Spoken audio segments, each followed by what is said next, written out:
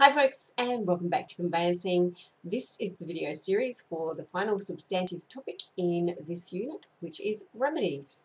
And if we jump into the Prezi you will see there are a few issues we need to get across in this video series. Firstly we'll have a little look at the remedies available and the issue of election.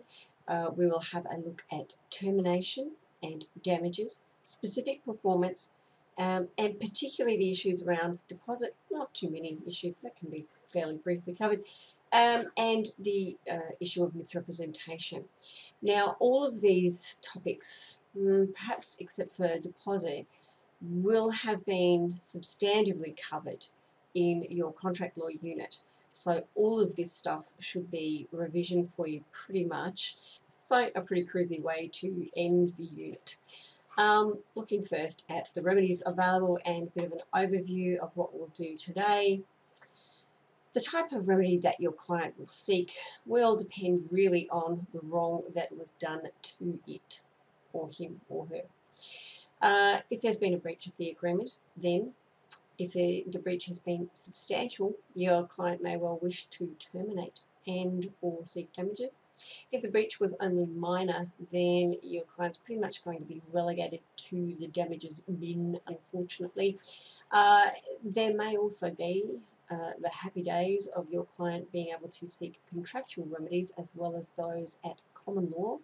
And uh, there are a number of different remedies in the REIQ standard form contract, including in Clause 9. Uh, if misrepresentation is the naughtiness of which your client has suffered, uh, or misleading or deceptive conduct under the uh, Australian consumer law, then um, you have a suite of potential remedies that might be open to your client. Uh, remembering that generally speaking you would try and go down the track of the ACL because it's much more friendly uh, rather than the um, comparatively more murky route of misrepresentation at common law.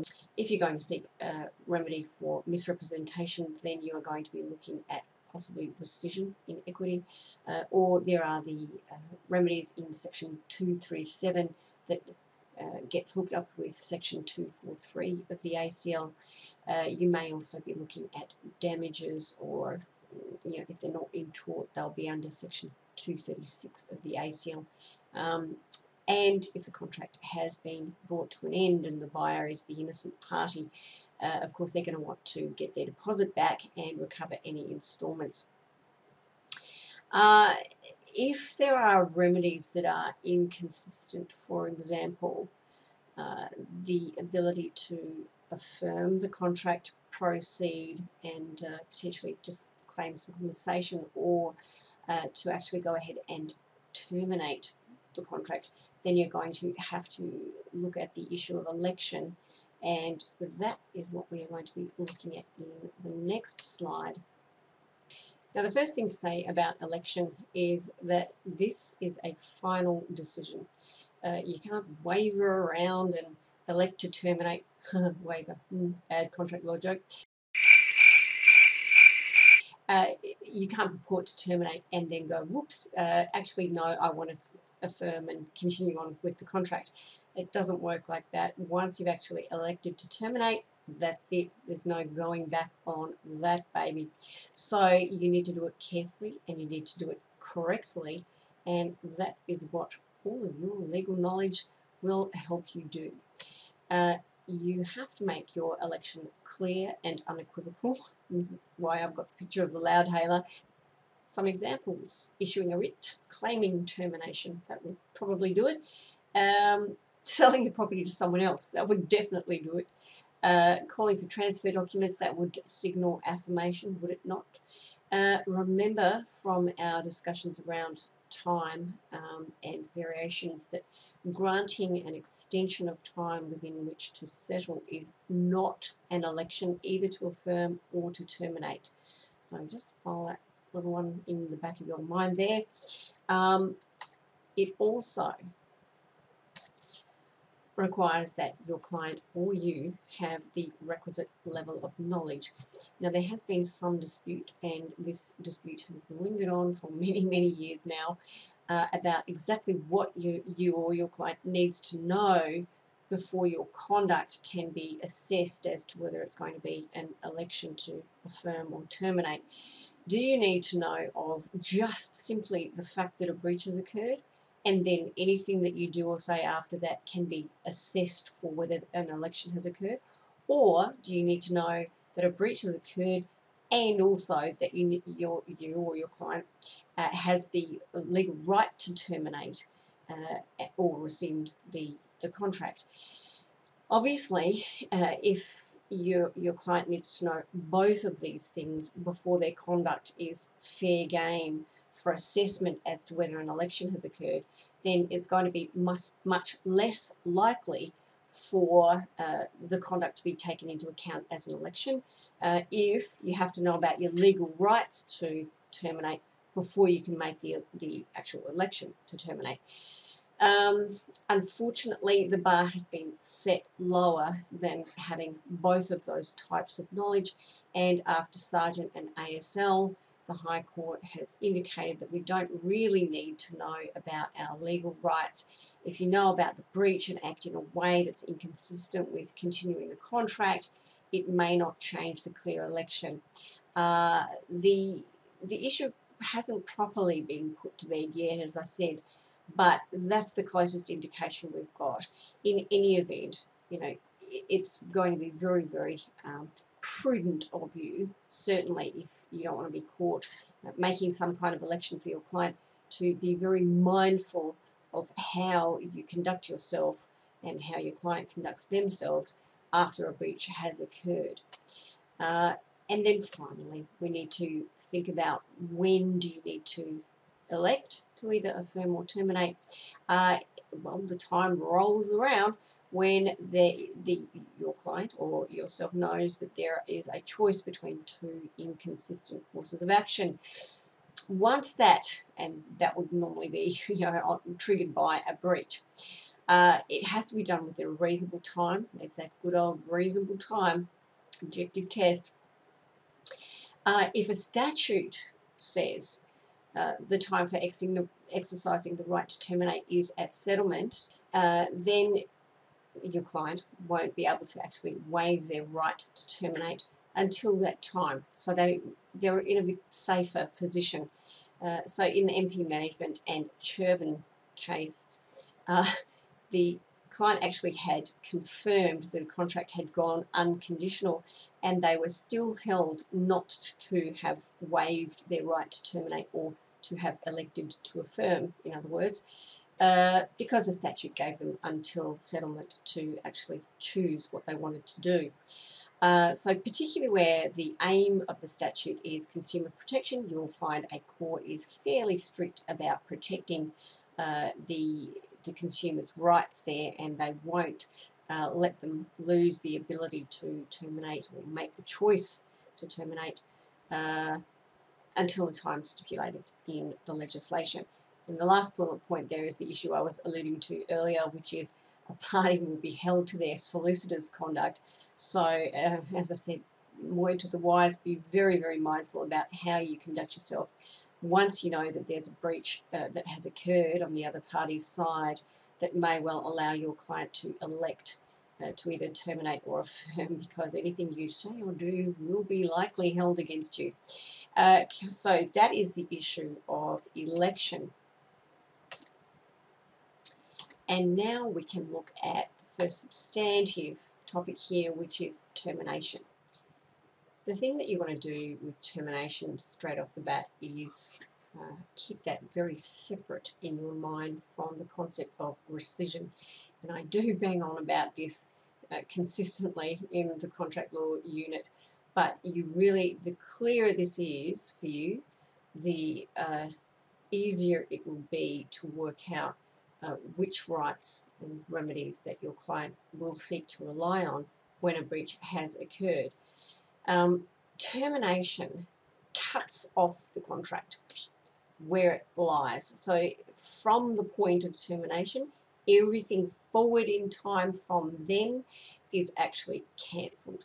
Okay, everything up until the point of termination stays on foot. Super important to remember that bit because any payments that have become due before that point of termination, they will still have to be paid.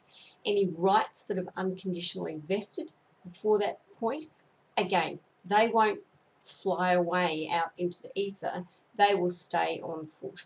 Okay, rescission on the other hand is I liken it to unwinding or unpicking, unraveling a contract back to the very starting point. That's why it's called rescission ab initio. Okay, uh, so therefore payments that have been made have to be uh, handed back over.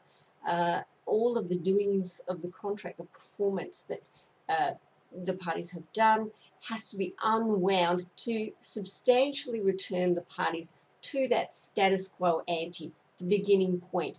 Uh, and if the court has to make orders for restitution, substantial restitution, uh, giving the money back, taking property back, uh, those kinds of things, to get the parties back to that initial position, that is what will happen all as part and parcel of an action for rescission.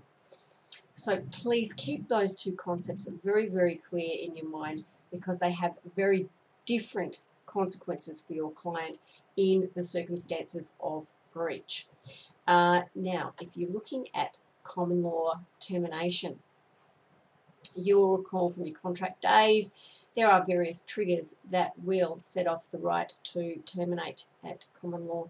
First and foremost is breach of an essential term and you will hopefully recall the tramways advertising case from contract and the test there as to whether or not a term is an essential condition is whether the uh, party would have entered the contract without some kind of assurance of a strict or at least substantial performance of that term. Okay, if the party just wouldn't have entered into the contract without the term, it's a fair bet it will be a condition and therefore essential breach of which will allow your client to terminate. The Gilson and Flamingo Enterprises case uh, centered around a condition of uh, unobstructed views. Um, the second thing that may trigger off uh, your client's right to terminate at common law will be a serious breach of an intermediate term. In the olden days, we used to call these innominate terms. Uh, and the Hongkong Fir Shipping Company should hopefully sound somewhat familiar to you. Um, and in that case, if you have an intermediate term, it means mm, it might act as a condition, it might act as a mere warranty for which you cannot terminate and just get damages. Uh, what you have to do is wait until you see the effect of the breach. If the innocent party has been deprived of substantially the whole benefit of the contract, then it's uh, fair to say that the breach will be considered a breach of an essential term and the right to terminate will arise. Uh, the final trigger where um, termination rights may arise is where the other party has repudiated their obligations under the contract. The big case here is Shevill and the Builders Licensing Board and there are a number of different kinds of repudiation uh, the repudiation might be express, as in, I don't want, want to perform this contract anymore, I'm out. Uh, it might be implied from conduct. Remember, if it is implied, uh, it has to be clear that the other party that is doing the repudiation is wholly and finally disabled from actually going ahead and performing. Uh, it might be via a party's clinging to their erroneous interpretation of the contract and how it should be performed uh, it might be the other party's wrongful termination. And this is the real exclamation point, I think, here in this discussion. Uh, it may well be that if you terminate incorrectly, the other party can take that as a repudiation of the contract and therefore uh, accept your repudiation, your client's repudiation, and claim damages that way. So there's it's a fairly high stakes game here is termination. You do it wrong and the other party might claim that you have uh, repudiated the contract uh, them, yourself or themselves. Um, in terms of uh, a substantial defect in title or material misdescription that will give the right to terminate. However, remember that right has to be exercised before settlement. Otherwise, uh, good old merger will say goodbye to that right there.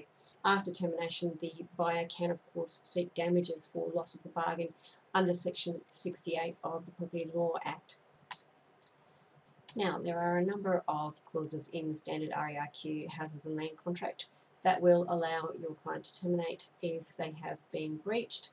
Uh, and you will recall many of these um, because we've covered most of them already in this unit. Clauses 3 and 4, that's your subject to finance clause and also the building and pest. Uh, 7.4 is the seller's warranties, 7.5 is survey and mistake, 7.6 requirements of authorities, remember the outstanding notices requiring works to be done. 7.7 uh, is the property adversely affected uh, clause and clause 9 is uh, the breach of essential term or fundamental breach of intermediate term clause there. Uh, you need to bear all of those in mind, um, very important clauses that will provide your client with a way out should they need it. Um, now, in terms of limits on the ability to terminate, uh, many of these will have been covered off in your contract law unit. Uh, but the one that I will flag there for you is instalment contracts. Now, we did look at uh, instalment contracts uh, earlier on in this unit, and uh, under Section 72, Sub 1 of the Property Law Act, you will re remember that uh, before you can go ahead and terminate an instalment contract, you have to provide notice and 30 days within which the party in breach can fix up their breach. If they do fix it up, then you can, cannot terminate. Uh, if they don't fix it up, then only then uh, can you go ahead and terminate. Uh, the others you will be familiar with, affirmation. Uh, the party that actually wants to terminate has to be ready, willing and able themselves to uh, perform the contract they can't be in breach themselves if they want to go ahead and terminate. Uh, you have to comply with any notice requirements stipulated in the contract. If you don't, uh, you have that lovely Commonwealth and uh, uh Amann aviation kind of situation that arises where the other party can claim that your failure to comply with the notice requirements has actually meant that your purported wrongful termination of the contract is a repudiation and uh, they can accept that and sue you for damages. Uh, you have to comply with all of the stipulated methods of notice that the contract sets out. Uh, you will note that the text discusses these at length uh, and we covered them all in contract law as well, so I won't labour the point here. Uh, the last thing that might cut into your client's right to terminate will be equitable doctrines such as uh, relief from forfeiture or estoppel. So that is the issue of termination and having passed the magical 15 minute mark now I think we'll go on to video 2 so until then bye for now guys